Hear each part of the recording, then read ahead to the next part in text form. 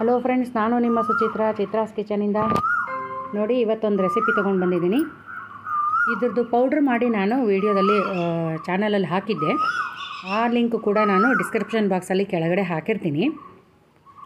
ನೋಡಿ, ನಾನು ಇವತ್ತು ಡೀಟೇಲಾಗಿ ಪುಳಿಯೋಗರೆ ಗೊಜ್ಜನ್ನು ಹೇಗೆ ಕುದಿಸೋದು ಅಂತ ತೋರಿಸ್ತಾ ಇದ್ದೀನಿ. ಮಸಾಲ ಪೌಡ್ರ್ ಮಾಡೋದನ್ನು ತೋರಿಸಿದ್ದೆ ನಾನು. ಪುಳಿಯೋಗರೆ ಗೊಜ್ಜಿನ ಮಸಾಲ ಪೌಡರ್ನ ಆಲ್ರೆಡಿ ವಿಡಿಯೋ ಹಾಕಿದ್ದೀನಿ. ಆದರೆ ಹುಳಿ ಕುದಿಸೋದನ್ನು ಹಾಕಿದಿರಲಿ, ಹಾಕಿರಲಿಲ್ಲ ನಾನು. ನೋಡಿ ಇಲ್ಲಿ ನಾನು ಆಗಲೇ ಹುಣಸೆಹಣ್ಣು ಕಾಲು ಕೆ ಜಿ ಹುಣಸೆಹಣ್ಣು ತೊಗೊಂಡಿದ್ದೀನಿ. ನಾನು ಹುಳಿ ಕುದಿಸ್ತಾ ಇದ್ದೀನಲ್ಲ, ಇದು ಕಾಲು ಕೆ ಜಿ ಹುಣಸೆಹಣ್ಣನ್ನು ರಾತ್ರಿ ನೆನೆಸಿಟ್ಬಿಟ್ಟು ನೀಟಾಗಿ ಬೆಳಗ್ಗೆ ಕೈಯಲ್ಲಿ ಕಿವುಚ್ಬಿಟ್ಟು ಜರಡಿನಲ್ಲಿ ಸೋಸ್ಕೊಂಡು ನಾನು ಕುದಿಯೋಕೆ ಇಟ್ಬಿಟ್ಟು ಒಂದು ಹದಿನೈದು ನಿಮಿಷ ಆಗಿದೆ. ನಿಮಗೆ ನಾನು ಕೈಯಾಡಿದಾಗ ನೀರಿನ ಅಂಶ ಹೇಗಿದೆ ನೋಡಿ, ಕೆಳಗಡೆ ಬೀಳಿಸಿದಾಗ ಗೊತ್ತಾಗುತ್ತೆ. ಹೀಗೆ ಎತ್ತಾಕಿದಾಗ ತ ಚಮಚದಲ್ಲಿ. ತೆಳ್ಳಗಿದೆ ನೋಡಿ, ಇನ್ನೂ ಕುದೀತಾ ಇದೆ. ಒಂದು ಹದಿನೈದು ಇಪ್ಪತ್ತು ನಿಮಿಷ ಆಯಿತು ನಾನು ಇಟ್ಟು. ನೋಡಿ, ಇವಾಗ ನಾನು ತೋರಿಸ್ತೀನಿ ನೋಡಿ, ಇವಾಗ ಸುತ್ತಲೂ ಗಟ್ಟಿಗಾಗ್ತಾ ಬರ್ತಾ ಇದೆ, ಆದರೆ ಮಧ್ಯದಲ್ಲಿ ಹಿಂಗೆ ಸುರಿದಾಗ ಬೀಳೋವಾಗ ನೋಡಿ ಎಷ್ಟು ತೆಳ್ಳಗೆ ಬೀಳ್ತಾ ಇದೆ. ಅಂದರೆ ಇನ್ನೂ ನೀರಿನ ಅಂಶ ತುಂಬ ಇದೆ ಇದು. ಆಲ್ರೆಡಿ ಇಪ್ಪತ್ತು ನಿಮಿಷ ಆಗಿದ್ದರೂ ಕೂಡ ನೋಡೋಕ್ಕೆ ಗಟ್ಟಿ ಅನಿಸುತ್ತೆ, ಆದರೆ ನೀರಿನ ಅಂಶ ಇದೆ. ನೋಡಿ, ಕುದಿಯೋ ಪ್ರಮಾಣ, ಅಂದರೆ ಕುದಿಯೋ ಇದ್ರದ್ದು ಕುದಿಯೋ ಥರ ನೋಡಿ, ಯಾವ ಥರ ಕುದೀತಾ ಇದೆ ಅಂತ. ಅದನ್ನು ಕೂಡ ಗಮನಿಸಬೇಕು. ಮಧ್ಯದಲ್ಲಿ ಕುದೀತಾ ಇದೆ, ಸುತ್ತಲೂ ಗಟ್ಟಿಯಾಗಿರೋದೆಲ್ಲ ಸುತ್ತಲೂ ಬರ್ತಾ ಇದೆ. ಬರ್ತಾ ಬರ್ತಾ ಬರ್ತಾ ಗ್ಲೇಸ್ ಬರುತ್ತೆ ಅದರ ಮೇಲೆ. ಒಂದು ಶೈನಿಂಗ್ ಬರುತ್ತೆ, ಆ ಹುಣಸೆ ಗೊಜ್ಜಿನ ಮೇಲೆ ಒಂದು ಶೈನಿಂಗ್ ಬರುತ್ತೆ. ನಾನು ಇದಕ್ಕೆ ಮೊದಲು ಎಣ್ಣೆ ಹಾಕಿ ಮಾಡ್ತಿದ್ದೆ. ಅಂದರೆ ಎಣ್ಣೆ ಹಾಕಿದ್ರೆ ನಿಮಗೆ ಗೊತ್ತಾಗುತ್ತೆ ನೀರಿನಂಶ ಹೋಗಿದ್ದು ಗೊತ್ತಾಗುತ್ತೆ. ಆದರೆ ಎಣ್ಣೆ ಹಾಕಿದರೆ ತುಂಬ ದಿವಸ ಇಡೋಕ್ಕಾಗಲ್ವಲ್ಲ ಅಂತ ಹೇಳಿ ನಾನು ಎಣ್ಣೆ ಹಾಕಿಲ್ಲ ಇದಕ್ಕೆ. ಹಾಗೆ ಮಾಡ್ತಾಯಿದ್ದೀನಿ ನೋಡಿ, ಇವಾಗ ಕುದಿಯೋ ರೀತಿ ಗೊತ್ತಾಗುತ್ತೆ ಯಾವ ಥರ ಕುದೀತಾ ಇದೆ ಅಂತ. ಸುತ್ತಲೂ ಗಟ್ಟಿ ಆಗ್ತಾ ಬರ್ತಾ ಇದೆ, ಮಧ್ಯದಲ್ಲಿ ಕುದೀತಾ ಇದೆ. ಕುದಿಯೋ ಸ್ಪೀಡ್ ಕೂಡ ಕಡಿಮೆ ಆಗ್ತಾ ಇದೆ. ತೆಳ್ಳಗಿದ್ದಾಗ ಫಾಸ್ಟಾಗಿ ಕುದೀತಾ ಇರುತ್ತೆ, ಬರ್ತಾ ಬರ್ತಾ ಬರ್ತಾ ನಿಧಾನಕ್ಕಾಗುತ್ತೆ. ಈಗ ನೋಡಿ ಸುತ್ತಲೂ ಕುದೀತಾ ಇದೆ ಇವಾಗ. ನಾನು ಒಂಚೂರು ಬೆಲ್ಲ ಕಡಿಮೆ ಆಗಿದೆ ಅಂತ ಒಂಚೂರು ಬೆಲ್ಲ ಸೇರಿಸ್ತಾ ಇದ್ದೀನಿ. ಈ ಹುಳಿ ಕುದಿಯೋಕ್ಕಿಟ್ಟಾಗ ತೆಳ್ಳಗಿದ್ದಾಗಲೇ ಸ, ಸರಿಸಮನಾಗಿ ಉಪ್ಪು ಬೆಲ್ಲನ ಹಾಕಿರಬೇಕು. ನೋಡಿ, ನಾನು ಫಸ್ಟ್ ಹೇಳೋದು ಮರ್ತೆ. ನಾವು ಕುದಿಯೋಕೆ ಇಟ್ಟ ತಕ್ಷಣ ಆ ಹುಳಿ ಎಷ್ಟಿದೆ, ಅದಕ್ಕೆ ತಕ್ಕ ಹಾಗೆ ಬೆಲ್ಲ, ಉಪ್ಪು ಹಾಕಬೇಕು. ಮತ್ತು ಟೇಸ್ಟ್ ನೋಡಬೇಕು. ಏನಾದರೂ ಹೆಚ್ಚು ಕಡಿಮೆ ಅನಿಸಿದ್ರೆ ಇವಾಗ ಉಪ್ಪು, ಬೆಲ್ಲ ಹಾಕಿ ಸರಿ ಮಾಡ್ಕೋಬೋದು. ಈಗ ನೋಡಿ, ಕುದಿಯೋದು ಎಷ್ಟು ಕಡಿಮೆ ಆಗಿದೆ? ಕುದಿಯೋದು ಕಡಿಮೆ ಆಗಿದೆ ಸುತ್ತಲೂ ಗ್ಲೇಸ್ ಬಂದಿದೆ, ಅದ್ರ ಮೇಲೆ ಒಂದು ಶೈನಿಂಗ್ ಬಂದಿದೆ. ನೋಡಿ, ಕುದಿಯೋದೆಲ್ಲ ಕಡಿಮೆ ಆಗ್ತಾ ಬರ್ತಾ ಇದೆ. ಆದರೂ ಕೂಡ ನಾನು ಇನ್ನೂ ಕುದಿಸ್ತೀನಿ. ಚೆನ್ನಾಗಿ ಕುದಿಸ್ಬಿಟ್ಟು ಇಟ್ಕೊಂಡ್ರೆ ಇದು ಕೆಡೋದಿಲ್ಲ. ಇವಾಗ ಕಡಿಮೆ ಊರಿನಲ್ಲಿ ಇಟ್ಟಿದ್ದೀನಿ. ನಾನು ಇಷ್ಟೋ ತನಕ ಮೀಡಿಯಮ್ ಫ್ಲೇಮಲ್ಲಿ ಕುದಿಸ್ತೈತೆ ಜೋರಾಗಿ ಕುದೀತಾ ಇತ್ತು. ಈಗ ಕಡಿಮೆ ಉರಿ ಇಟ್ಟು ಸ್ವಲ್ಪ ತಿಡ್ತೀನಿ. ಇಟ್ಟಾಗ ಕುದಿಯೋದು ಕಡಿಮೆ ಆಗುತ್ತೆ, ಆದರೆ ನೀರಿನ ಅಂಶ ಏನಾದರೂ ಇದ್ದರೆ ಹೋಗಲಿ ಅಂತ ಇಟ್ಟಿದ್ದೀನಿ. ನೋಡಿ, ಇವಾಗ ಸುರಿದ್ರೆ ಯಾವ ಥರ ಇದೆ ಅಂತ ಇದು ಇವಾಗ ಅದರ ವ್ಯತ್ಯಾಸ ಗಮನಿಸಿ ಯಾವ ಥರ ಇದೆ ಅಂತ.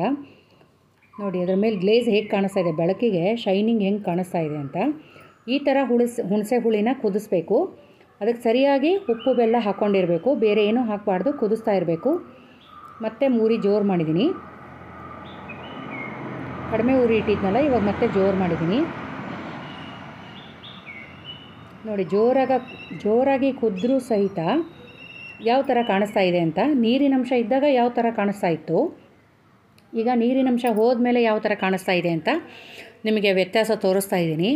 ನೋಡಿ, ಚಮಚದಲ್ಲಿ ತೊಗೊಂಡ್ರೆ ಈ ಥರ ಕಾಣಿಸುತ್ತೆ. ನೀವು ಗಮನಿಸ್ಬೇಕು, ಪ್ರತಿಯೊಂದು ಅಂಶನೂ ಇದರಲ್ಲಿ ನೆನಪಿಟ್ಕೋಬೇಕು.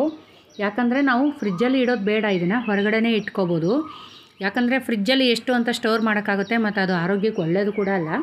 ನಾವು ಒಂದು ಕಾಲು ಕೆ ಜಿ ಮಾಡಿಟ್ಕೊಂಡ್ರೆ ಒಂದಷ್ಟು ದಿವಸ ಒಂದು ನಾವು ಹೆಂಗೆ ಉಪಯೋಗ ಮಾಡ್ತೀವಿ ಆ ಥರ ಉಪಯೋಗ ಮಾಡ್ಕೋಬೋದು. ನೋಡಿ, ಕೈ ಆಡಿದ್ರೆ ಯಾವ ಥರ, ಚಮಚದ ಮೇಲೆ ಯಾವ ಥರ ಕಾಣ್ತಾ ಇದೆ ಶೈನಿಂಗ್ ಯಾವ ಥರ ಇದೆ ಗ್ಲೇಸ್ ಯಾವ ಥರ ಇದೆ, ಅದನ್ನು ಬಗ್ಸಿದ್ರೆ ಚಮಚದ ಮೇಲೆ ಯಾವ ಥರ ಅದು ಸ್ಟಿಕ್ ಆಗಿದೆ, ಅದನ್ನೆಲ್ಲ ಗಮನಿಸ್ಕೊಂಡ್ರೆ ನಾವು ಮಾಡೋವಾಗ ಗೊತ್ತಾಗುತ್ತೆ ಇದೇ ಥರ ಇರಬೇಕು ಅಂತ.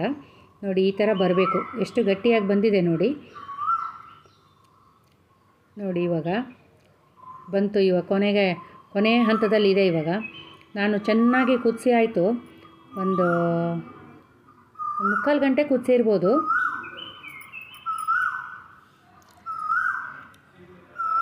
ನೋಡಿ, ಯಾವ ಥರ ಇವಾಗ ಗೊತ್ತಾಗುತ್ತಲ್ವ? ಚಮಚದಲ್ಲಿ ಬಗ್ಗಿಸ್ದಾಗ ನೋಡಿ, ಯಾವ ಥರ ಬೀಳ್ತಾಯಿದೆ ಮೊದಲು ಯಾವ ಥರ ಬೀಳ್ತಾಯಿತ್ತು ಈಗ ಯಾವ ಥರ ಬೀಳ್ತಾ ಇದೆ? ಈಗ ಚಮಚದಲ್ಲಿ ನೋಡಿ ಯಾವ ಥರ ಇಟ್ಕೊಂಡಿದೆ. ಒಳ್ಳೆ ಜಾಮ್ ಥರ ಆಗಿದೆ ಅಲ್ವಾ? ಈ ಥರ ಆಗಬೇಕು ಹುಣಸೆ ಹುಳಿ. ಈ ಥರ ಚೆನ್ನಾಗಿ ಕುದಿ ದಪ್ಪ ತಳ ಬಾಣಲೆ ಇಡಬೇಕು. ಆಯಿತಾ? ದಪ್ಪ ತಳ ಬಾಣಲೆ ಇಟ್ಟರೆ ಇದು ಚೆನ್ನಾಗಾಗತ್ತೆ. ನಾನು ದಪ್ಪ ತಳ ಬಾಣಲೆ ಇಟ್ಕೊಂಡು ದೊಡ್ಡದಾಗಿರೋ ಅಂಥದ್ದು ಇದನ್ನು ಕುದಿಸಿರೋದು ಹುಳಿನ. ಇವಾಗ ನೋಡಿ ಆಫ್ ಮಾಡಿದ್ದೀನಿ ಯಾವ ಥರ ಕಾಣಿಸ್ತಾ ಇದೆ? ಬಿಸಿ ಇದೆ ಇನ್ನೂ ಇದು. ಪೌಡ್ರನ್ನ ತಯಾರು ಮಾಡ್ಕೊಳ್ಳೋದು ಕೂಡ ತೋರಿಸ್ತೀನಿ ಇದ್ರ ಜೊತೆಗೇನೆ ಎರಡೂ ಜೊತೆಗೆ ಇರಲಿ ಅಂತ. ಆದರೆ ಡಿಟೇಲ್ಡಾಗಿ ತೋರಿಸಲ್ಲ. ಎಳ್ಳು, ಒಣಕೊಬ್ಬರಿ ಹುರಿದಿಟ್ಕೋಬೇಕು. ಅದನ್ನು ಪೌಡ್ರ್ ಮಾಡಿ ಹಾಕ್ಬೇಕು ಲಾಸ್ಟಿಗೆ ಈಗ ರೆಡಿಯಾಗಿದೆ ನೋಡಿ ಗೊಜ್ಜು. ಯಾವ ಥರ ನಿಮ್ಗೆ ಯಾವ ಥರ ಕಾಣಿಸ್ತಾ ಇದೆ ನೋಡಿ ಗೊತ್ತಾಗುತ್ತೆ. ಈ ಥರ ಬರಬೇಕು. ಈ ಥರ ಬಂದರೆ ನೋಡಿ ಕೆಟ್ಟೋಗಲ್ಲ.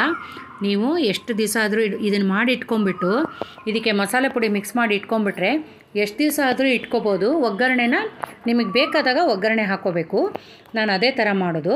ಕಾಲು ಕೆ ಜಿ ನಾನು ಧನಿಯಾ ತೊಗೊಂಡಿದ್ದೀನಿ. ಕಾಲು ಕೆ ಜಿ ಧನಿಯಾನ ಹುರಿದಿಟ್ಕೊಂಡಿದ್ದೀನಿ ಇಲ್ಲಿ. ಮತ್ತು ಇಲ್ಲಿ ಮೆಣಸಿನ್ಕಾಯಿನ ಕೂಡ ಒಂದು ನೂರು ನೂರು ಗ್ರಾಮ್. ನಿಮಗೆ ಖಾರ ಎಷ್ಟು ಬೇಕು, ಜಾಸ್ತಿ ಬೇಕು ಅಂದರೆ ಜಾಸ್ತಿ ಹಾಕ್ಕೋಬೇಕು. ಮೂರು ಟೇಬಲ್ ಸ್ಪೂನು ಮೆಣಸು, ಮೂರು ಟೇಬಲ್ ಸ್ಪೂನು ಸಾಸಿವೆ, ಮೂರು ಟೇಬಲ್ ಸ್ಪೂನ್ ಜೀರಿಗೆ, ಮತ್ತು ಒನ್ ಟೇಬಲ್ ಸ್ಪೂನು ಮೆಂತ್ಯ, ಎರಡು ಬಾಳೆಕಾಯಿ, ಎರಡು ಮೊಗ್ಗು.